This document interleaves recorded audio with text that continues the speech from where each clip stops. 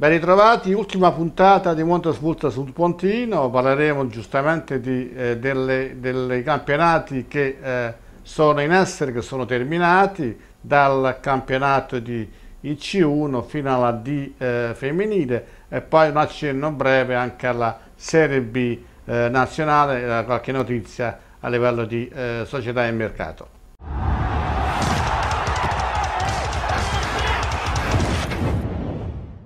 Ben ritrovati, se qualche battuta sulla Serie B maschile, il Fondicasa 5 è già un bel po' che è terminato il campionato e quindi era semplicemente per chiudere eh, nell'ultima puntata di Mondo Futsal eh, dire qualche cosa sulla formazione del, del Fondi Calcio 5. In settimana, mi pare esattamente giovedì, c'è stata la riunione tecnica da parte della società e a quanto pare eh, hanno mh, mm, messo in atto qualche movimento, eh, su, sul movimento sicuramente non significa che sono state fatte delle cose reali, ma comunque il, la volontà di, di fare, eh, di fare dei, dei, passaggi per cercare appunto di eh, l'anno prossimo di fare un campionato migliore, chiaramente il discorso è sempre quello, non, non sta a me sicuramente eh, giudicare, ma quest'anno il Fondi Casa 5 ha disputato un campionato amorfo nel senso vero della parola, comunque è stata ripescata sì,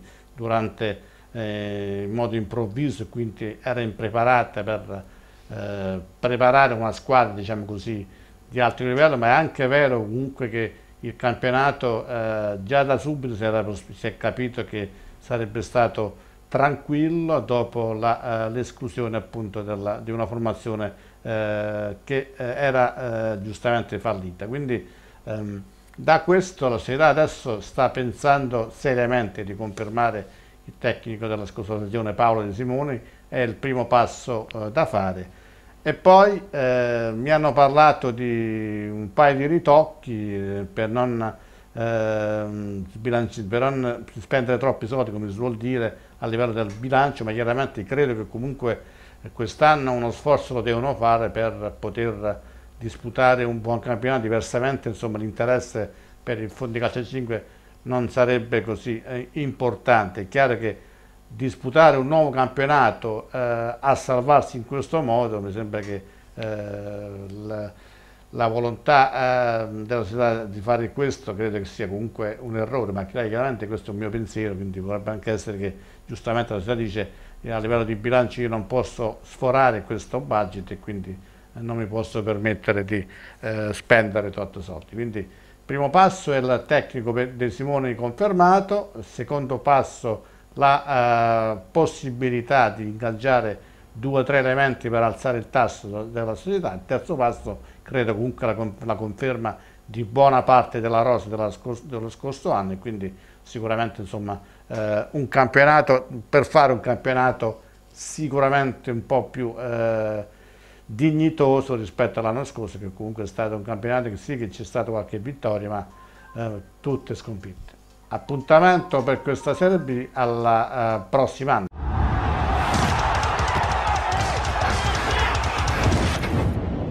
Brevemente parliamo del,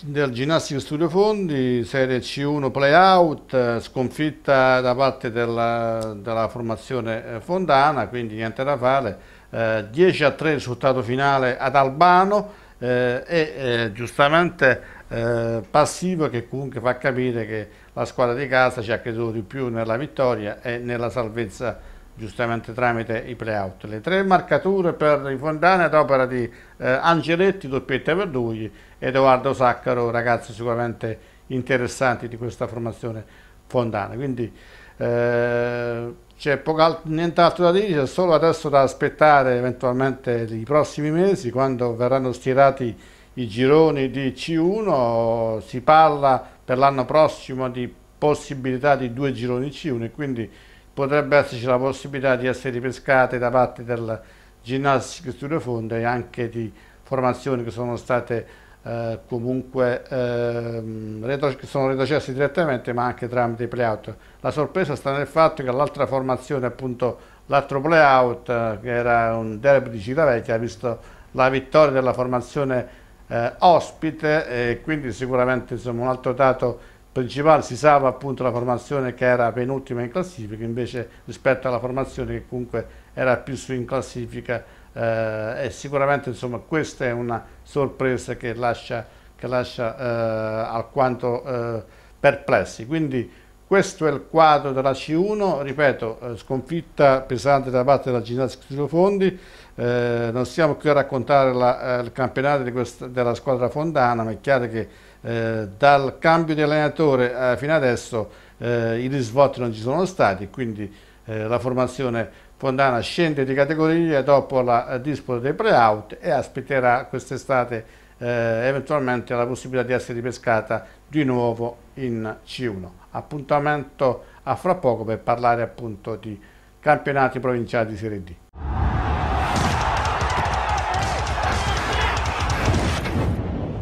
Di nuovo in studio per parlare di Serie D provinciale, abbiamo saltato sia la C2 che la, la C femminile perché comunque sono campionati che sono terminati da, già da qualche settimana, eh, ne avevamo parlato anche la settimana scorsa del Città di 21 Marino che comunque era stata, eh, aveva perso in trasferta appunto nel match con il Belletti quindi aspetterà anche lei la possibilità di essere ripescata. Per quello che riguarda appunto la Serie D eh, maschile andiamo al girone A, si è disputata l'ultima giornata, il Real Terracina ha disputato il suo match domenica sera, quindi sicuramente c'è stata attesa per questo risultato che serviva per fare gli abbinamenti appunto nei, mh, nei playoff, come li chiamiamo noi, anche se la denominazione recente è Coppa eh, Provincia di Latina. Real Terracina ha battuto per 14 a 4 il Parrocchio San, San Giuseppe, quindi dimostrazione di forza, e poi la Virtus Terracina ha chiuso in bellezza il campionato con eh, un 5 a 1 contro il Flora 92, ma chiaramente il Flora era una formazione a pareggio, a pari punti insieme alla Virtus Terracina. Quindi la classifica vede la, eh, il Podegora con 63 punti che sale in in C2 direttamente, poi la griglia delle squadre che faranno play, i playoff sono Unità d'Aprilia insieme a Sporting Giovane Risorse 62 punti, Real Terracina 54 quindi diventa quarta, Accademia Sport 53, Antonio Palluzzi 52,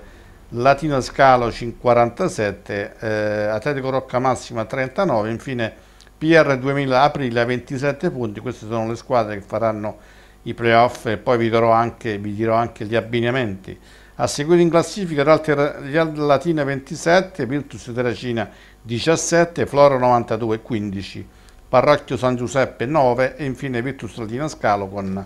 4 punti. Quindi questo è il girone A che vi abbiamo eh, dato lettura. Andiamo al girone B, anche qui insomma si aspettava tutto fuorché che eh, l'ultima giornata il Gaeta cadesse contro l'Olympus Sporting Club Mintorno, quindi sicuramente insomma, la prestazione della squadra di casa è stata veramente importante, voleva a tutti i costi la vittoria, anche se eh, a livello di classifica cambiava poco, oppure se, sia se vinceva, sia se perdeva, sia se pareggiava. Ma questo è un discorso legato ai calcoli di classifica, non è legato a chi scende in campo e che può volere la vittoria anche se eh, comunque può far comodo agli avversari o meno un risultato diverso. Quindi questo è il quadro completo, tre mensuali Ventotene 6 a 0, ma questa è una vittoria a tavolino visto che il Ventotene non si è presentata. Olympus Sporting Club Atletico Gaeta 3 a 1, Palavagnoli contro Atletico Sperlonga 4 a 3, Bis Fondi 8 a 1 batte il DLF Formia e ancora San Giovanni Spigno Formia 105 Calcio 14 a 4 Atletico Maranola Old Ranch 1 a 4, di questa, di questa partita abbiamo eh, le interviste effettuate dal sottoscritto al, tecnico, al presidente Maurizio Giovannoni, all'allenatore eh, di Vezza, Ivano Di Vezza dell'Old Ranch e poi all'allenatore della squadra ospite, della squadra di casa, scusate, eh, Giuseppe Di Tucci. Poi l'ultimo eh, match appunto Sporting della Cina al Virtus Fondi Calcio 5 che conta poco a livello di classifica ma è terminato con il risultato eh, rotondo 10 a 10 per le due eh, formazioni, quindi si sono divertiti eh, sia in attacco che in difesa. La classifica finale, quindi Vis Fondi 62 punti, sale in C2, Agli, ai playoff vanno appunto eh, Old Ranch um, 97 fondi e Atletico Ghete 59, San Giovanni Spigno 49, eh, Olympus Sporting Club 47, Palavagnoli 35, Sporting Terracina 32, Atletico Sperlonca 29, infine Atletico Marano 27, la squadra appunto, l'ultima squadra che disputerà i eh, playoff o meglio Coppa Latina. Di seguito abbiamo tre mensuali 25, DLF Formia 16, eh, Formia 105 9, Ventotene un punto, chiude la classifica la Virtus Fondi Calcio 5 con 0 punti, i punti non ci sono quindi è inutile eh, contarli anche se eh, avrà fatto qualche vittoria eh, e qualche pareggio. Vi do adesso eh, gli accoppiamenti prima di, di, di eh, ascoltare appunto eh, le interviste effettuate a fine partita fra Atletico Maranola e Oldrange 97 Fondi, gli ottavi finali che si disputeranno non il 24 come previsto da calendario, visto che il 24 era stato spostato per il fatto che erano previsti gli spareggi sabato eh, prossimo fra eh, Gaeta e eh, Visfondo, invece il spareggio non c'è stato, quindi si anticiperà di una settimana questo, questa fase dei playoff, gli ottavi di finale. Eh, il quadro completo vede appunto gara 1 Unità d'Aprile contro Atletico Maranola, gara 2 Sporting Giovani Risorse contro Atletico Sperlonga, gara 3 il derby eh, fra, fra, le teracinesi Real Terracini contro Sporting Terracina, gara 4 Accademia Sport Palavagnolo 89 Itri, gara 5 Old Ranch 97 Fondi contro PR 2000 Aprilia, gara 6 Atletico Gaeta contro Atletico Rocca Massima, gara 7 San Giovanni Spigno Latina Scalo Simil. E infine gara 8 Olympus Minturno Antonio Paluzzi. Quindi questo è il quadro completo dei risultati, ancora non è finito la, il campionato di Serie D, si prosegue, sicuramente questa coda eh, farà comodo eh, a molti che amano il calcetto, ma chiaramente per loro giocatori comunque che un bel po' che stanno correndo, forse un finale insomma, di campionato che potrebbe pesare abbastanza. Ascoltiamo adesso a questo punto le interviste eh, di fine partita al, al, presidente Giovannoni, al tecnico di Vezza dell'Oldenanza Fondi e al tecnico di Tucci della formazione di casa Atletico Marano. Siamo venuti a Gaeta anche con molte defianze tra squalificati e tre portieri mancanti. Meno male che ho di Vezza Factotum che mi ha fatto portiere e si è anche disimpegnato benino, devo dire. È stata una partita ecco, di fine stagione anche perché tra l'altro in tutto questo il risultato sul campo conta poco, anche perché la, sì, sì. la, la classifica tua e quella di, di, del, del Marano era, era intatta insomma. Eh, sì, no? diciamo di sì. No, noi ci cambia la classifica solo se il Gaeta perde. Se il Gaeta perde in turno noi ci cambia la classifica perché passiamo secondi in classifica e in uh, ottica playoff è importante. Ah, ecco, quindi, avendo, avendo le in questo momento il Gaeta sappiamo che sta perdendo 2-0 però ancora non è finita. Sì, è stata una partita molto soft, molto tranquilla. Immaginavamo che comunque con questo caldo sarebbe stato difficile giocare, però siamo venuti qua molto tranquilli, consapevoli di, di poter continuare la striscia che abbiamo intrapreso da febbraio in poi, con l'unica pecca della partita col, col Gate. Però questo diciamo, può aumentare i nostri rammarici per quanto riguarda la vittoria del campionato, perché forse lo potevamo fare qualcosina in più, però ormai è andata stiamo crescendo, ci stiamo allenando bene, quindi sono fiducioso per i playoff, questo è poco ma sicuro. Sì, è beh, una partita che sembrava che non aveva alcun senso, anche se poi alla fine c'è stata questa svolta del Gaeta che ha perso fuori casa e quindi il secondo tempo ho notato che eh, l'Old Range stava con un orecchio a scaure e quindi ho visto che ha accelerato molto, infatti lì anche insomma colpa anche del caldo e anche del fatto che comunque l'allenamento, la squadra comunque ci sono dei valori completamente diversi. Però il primo tempo l'hai messo in difficoltà il primo sì, tempo. Sì, il primo tempo l'abbiamo messo in difficoltà, abbiamo giocato bene, eravamo compatti, chiusi, il portiere devo dire loro che eh, ha fatto delle, degli interventi abbastanza importanti e se no potevamo stare pure in vantaggio. Il primo tempo è stato abbastanza equilibrato, poi il secondo tempo insomma abbiamo un attimo perso, eh, ci siamo un po' eh, scollati, quindi è successo Forse anche trovati... il fiato che mancava? Eh, quello sicuramente che dicevo prima, il fiato, la nostra preparazione è completamente diversa dalla loro, loro sono molto preparati, noi ci siamo allenati poco, però comunque abbiamo, abbiamo retto abbastanza bene, abbiamo fatto la nostra degna partita.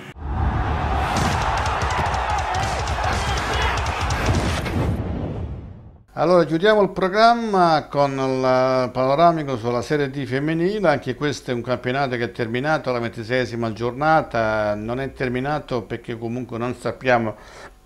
realmente chi è la vincitrice, ci sarà appunto una coda finale e giustamente anche qui eh, i playoff. Eh, nel frattempo vi do i risultati, dei, eh, risultati che abbiamo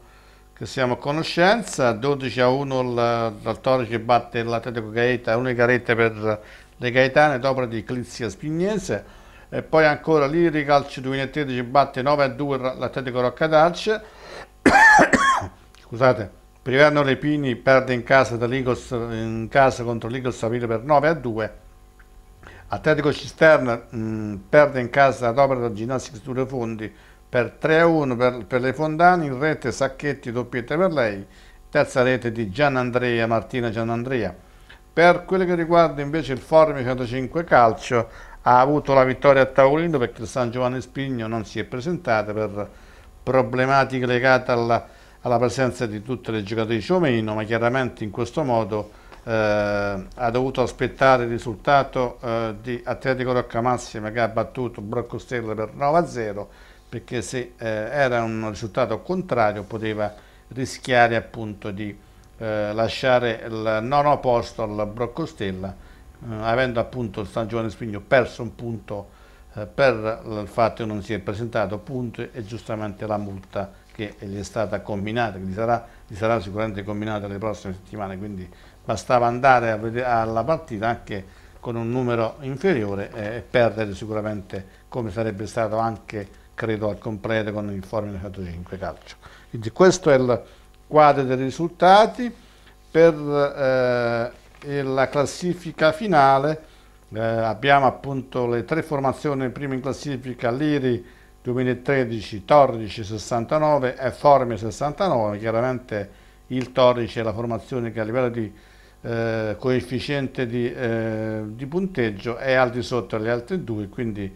eh, sarà la formazione terza in classifica e poi vi darò appunto gli abbinamenti per, anche per questa eh, Coppa Latina, eh, per i quarti di finale, qui si parte appunto dai quarti di finale. Eh, quindi Igor Sapena 64, eh, Atletico Roccamassima 45, Privenno Lepini 43, Atletico Roccadacci 42, Cirvaro 31, San Giovanni Spigno 21, Brocco Stella 19 insieme a Atletico Gaeta Atletico Cisterna 14, Giulianello 12, chiude la classifica il Ginnastica sui due fondi con eh, 10 punti. Allora andiamo anche in questo caso a darvi gli abbinamenti eh, per la Coppa Latina di eh, categoria di Serie D femminile. Eh, bisogna prima giustamente disputare lo spareggio fra il Forum 905 Calcio e eh, il Liri Calcio 2013 sabato prossimo 17 maggio da definire giustamente una sede neutra che eh, dovremmo avere, eh, sapere a giorni. Quindi la, i quarti di finale si disputeranno il prossimo 24 maggio, eh, seconda classificata che non abbiamo, quindi la perdente fra Forum 905 e eh, di Calcio 2013 giocherà contro il San Giovanni Spigno la gara 2 sarà eh, fra Torrice e Cervaro, eh, la gara 3 fra Eagles Aprilia e Atletico Rocca d'Arce e la gara 4 fra Atletico Rocca Massima e Priverno Lipini. Le semifinali ci saranno il prossimo 31 maggio, quindi queste quattro gare verranno fuori eh, altre appunto quattro squadre da 8 eh, su, su squadre verranno fuori quattro gare, quattro squadre che giocheranno il 31 maggio le semifinali e poi il 7 giugno la finale, quindi che servirà per stilare una graduatoria che potrebbe essere utile in funzione e ripescaggio. Questo è il quadro appunto di questa puntata, mi sembra che vi abbiamo dato una panoramica generale, anche se c'è stato qualche forfè a livello di ospiti, ma chiaramente fa parte del gioco eh, invitare e non poter avere la possibilità di eh, intervistare gli ospiti previsti. Appuntamento per questo mondo futsal sul Pontino spero vivamente che ci possa essere anche l'anno prossimo. Questa è l'ultima puntata quindi eh, speriamo che quest'anno abbiamo fatto qualcosa di diverso rispetto agli anni scorsi quindi crediamo uh, in questo programma, ma giustamente c'è bisogno anche di verificare la, uh, le possibilità e le, uh, appunto, i tempi giusti per poter fare un programma del genere. Quindi appuntamento, se si potrà, all'anno prossimo, sempre con Telegolf, Sport Pontino e giustamente Monto Futsal Taratina e eh, 26elettri.it da Fondi. Appuntamento all'anno prossimo.